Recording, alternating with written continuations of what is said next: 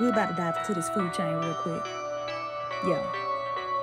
You know, looking at each level and how energy or matter is transferred from one organism to another. Let's get it. The food chain, the food chain.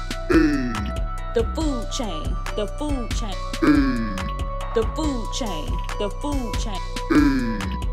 Transferring energy from level to level. Each level of the food chain is called trophic. Scrolling through each trophic level, so listen closely. At the bottom of the food chain, we have producers producing energy from soil and sun, and then comes consumer. Primary consumers are the next trophic level. These herbivores you can ignore, and you know they have several. Secondary consumers, they devour the primaries. But the tertiary level wins, so run off as necessary. The last trophic level are the final consumers. The apex predator, the one that toughest of them all will soon pass away, and the great decomposers will help them rot away. The food chain, the food chain. The food chain, the food chain. The food chain, the food chain.